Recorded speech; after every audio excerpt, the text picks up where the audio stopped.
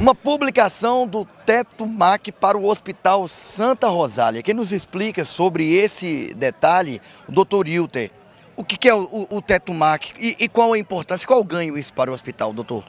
Olá, amigos imigrantes. A grande importância é que ele é fixo, né? ele é eterno.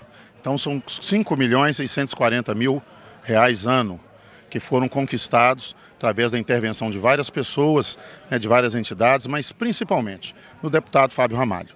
Através dele, é, o Ministério da Saúde publicou que é um incremento na, no que o hospital é remunerado mensalmente.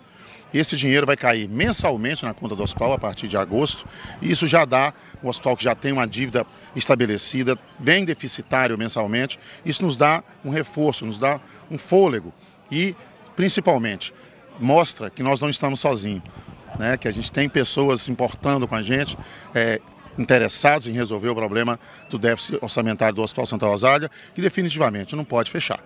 Maior empresa social dessa região, né? E isso nos deixa muito felizes.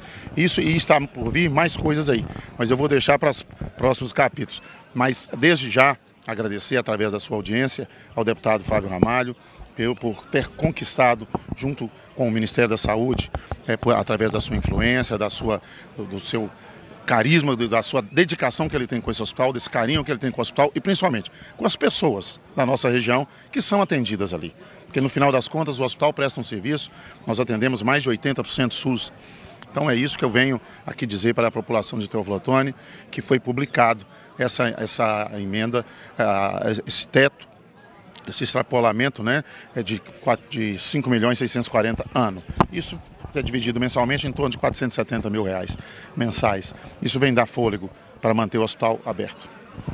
Nós falamos no início da matéria sobre o teto MAC. O que seria o teto MAC? MAC. MAC é uma sigla, MAC, média e alta complexidade. Sim.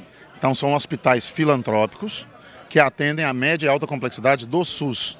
Santa Rosália hoje é o principal hospital da rede. São 193 leitos, né, mas você sabe muito bem, já esteve lá, nós temos pacientes é, a todo momento em vaga zero no corredor, pacientes entubados em pronto-socorro. Então é um hospital que atende a grande emergência de Teoflotone e toda a região. É disso que nós estamos falando. Então é, é, é a neurocirurgia, é a cardiologia, é a UTI.